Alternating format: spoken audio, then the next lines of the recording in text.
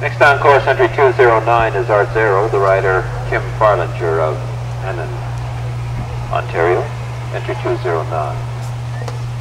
Entry 209, The competition 712.